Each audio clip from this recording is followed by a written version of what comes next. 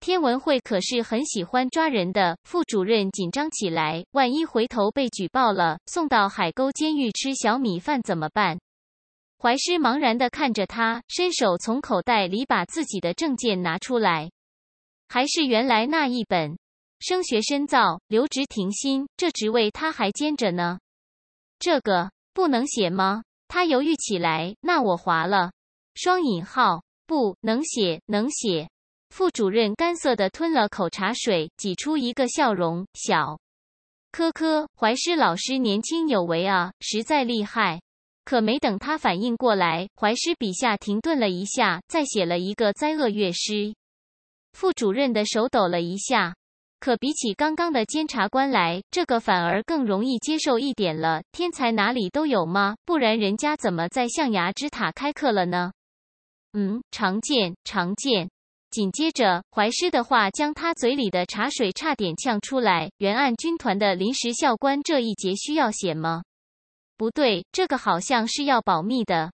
不好意思，请您当做没听见吧，千万不要跟别人乱讲啊！你特么在逗我？副主任咳嗽了半天，喘了半天的气儿才匀过来。不能讲，你干嘛乱说啊？这种事情是能给自己这种混办公室的人乱说的吗？怀师的笔停顿了一下，又开始迅速的往下写。深渊除魔，又占了一格。副主任的表情抽搐着，欲言又止，止言又欲。低头看了一眼怀师刚刚进来的时候殷勤给自己泡的茶，一颗刚热乎起来的心瞬间凉了一半。妈耶，我是不是要凉了？现在去洗胃还来得及吗？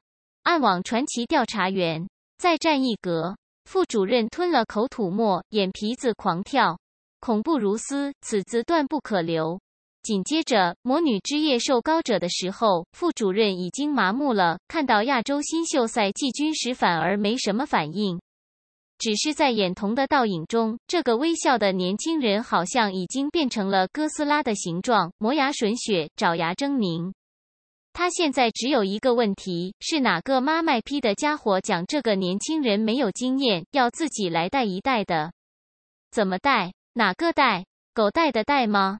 等怀师写到乐园王子的时候，只写了一个“乐”字，那么长的一行表格就写不下了。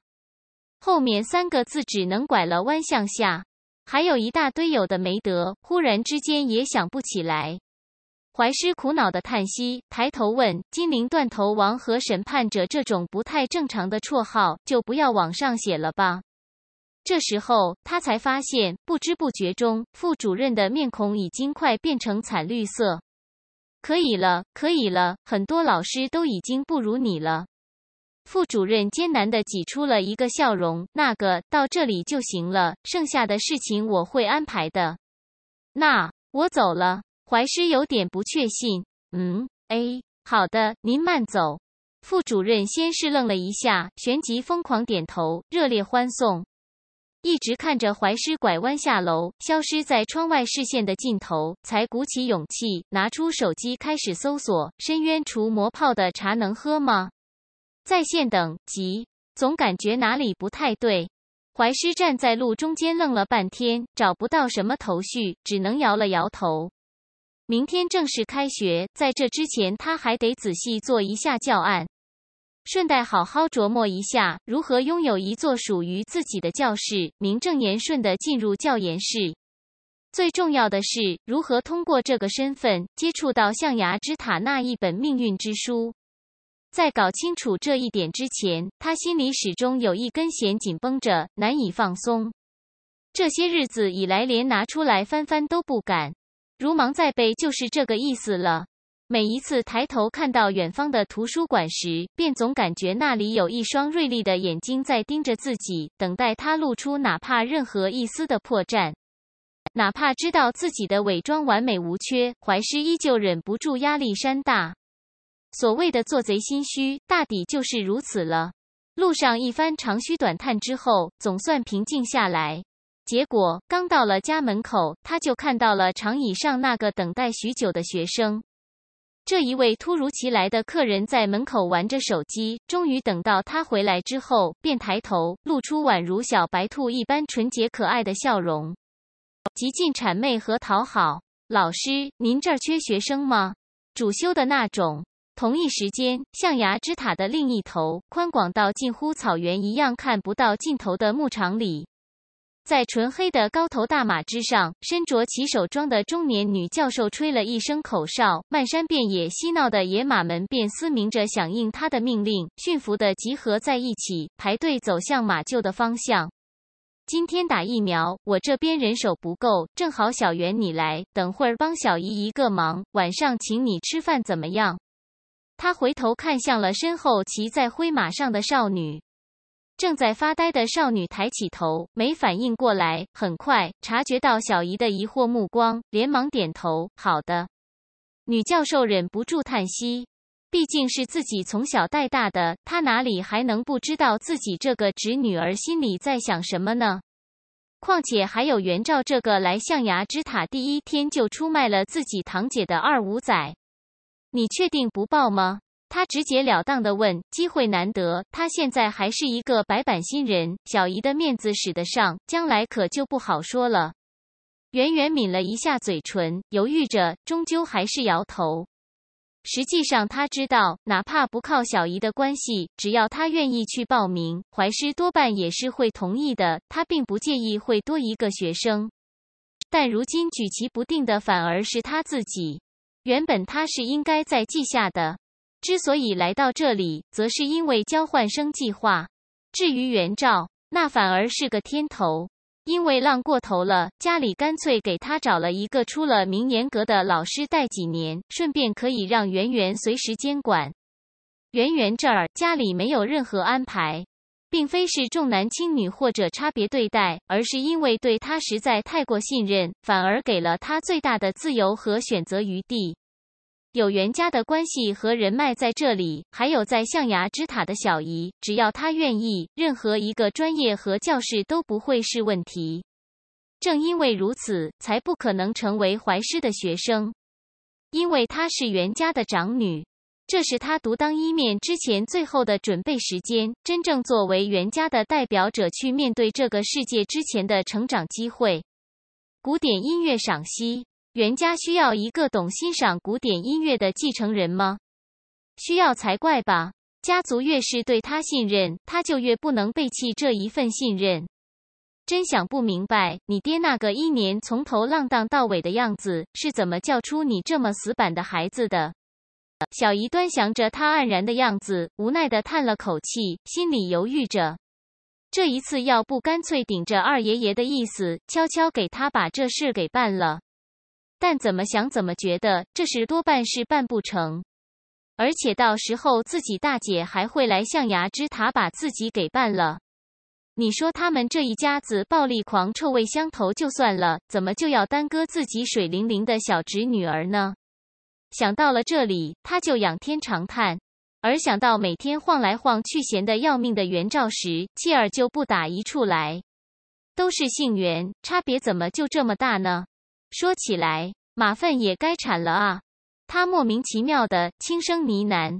就这样，袁照开学之前的悲惨命运被他愉快的决定了。食水馆会客室，房叔端上了两杯热茶待客，而怀师则坐在沙发上，翘起腿，端详着坐在自己对面的那个少年人。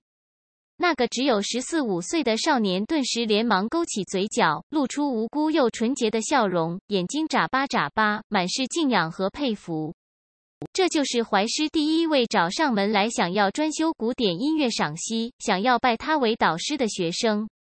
这一份对艺术的热爱不可谓不赤诚，而这一份对于怀师的推崇和敬意也不可谓不厚重。更兼家世雄厚，财大气粗，根本挑不出任何的毛病来。唯一的问题就是这林家的小十九，林中小屋，怎么看怎么有问题，好吗？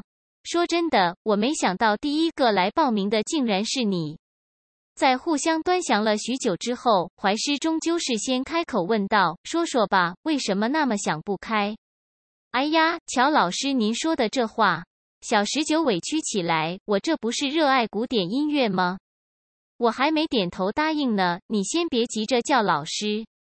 怀师赶忙抬起手制止他往下继续胡扯，神情越发的怀疑。还有热爱古典音乐，你对啊？林中小屋震声说：“整个林家都没有人比我更热爱古典音乐了。”这话是实话。整个林家有一半的人不知道古典音乐前面的“古典”俩字儿怎么写，另一半则不知道音乐是个啥。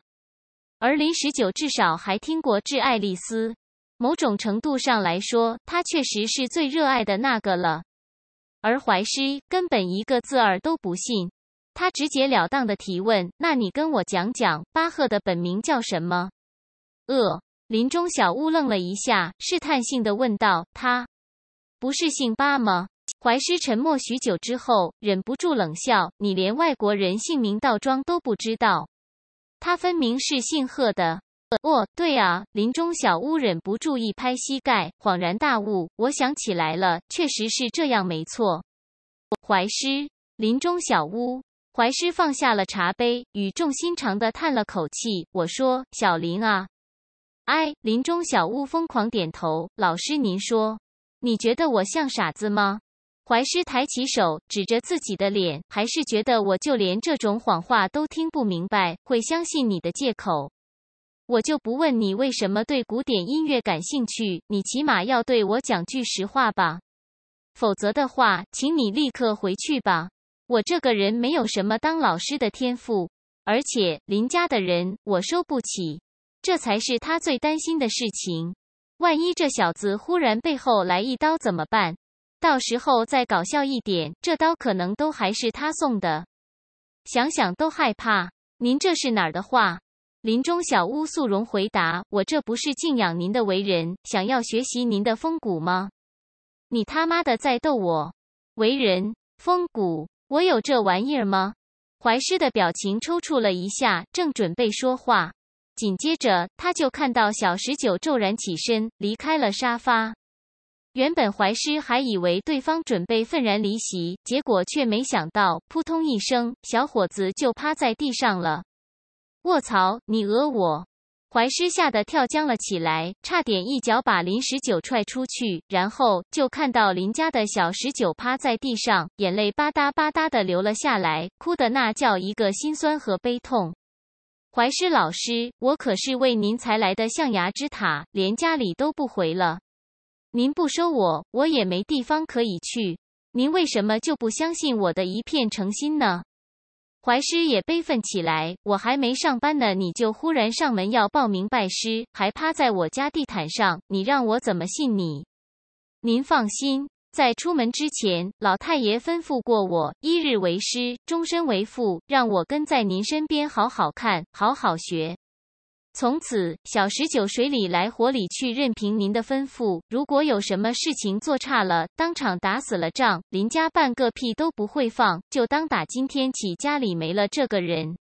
说完，按照冬夏的规矩，林家的小十九跪在地上，不等怀师反应，便对着怀师大礼参拜，梆梆梆几个响头，双手高高捧起一封老太爷亲自写的荐书，等待回应。寂静里，怀师愣在原地。